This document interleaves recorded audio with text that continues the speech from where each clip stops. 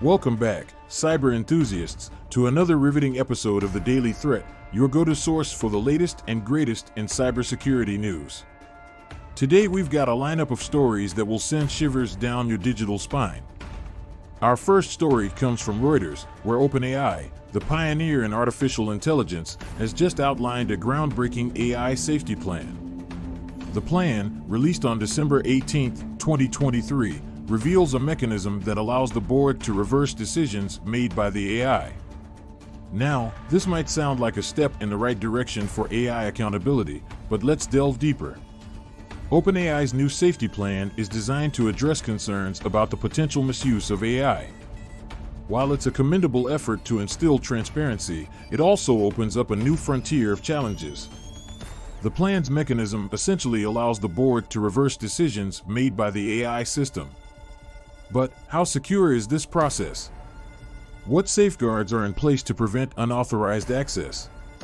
The concept of a reversible decision making process raises both security and ethical questions.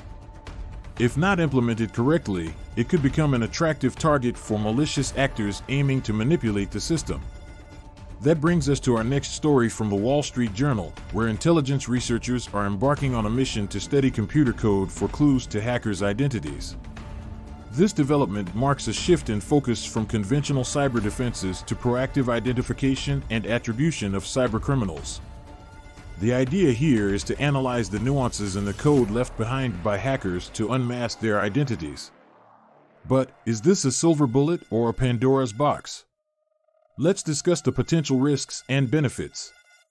While the initiative to study code for hacker identification is a positive step, it's not without challenges. Hackers are becoming increasingly sophisticated in disguising their tracks, and false positives can have serious consequences.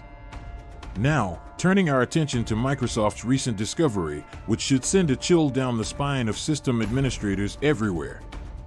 Bleeping Computer reports that Microsoft has found a critical remote code execution (RCE) flaw in Perforce Helix core server.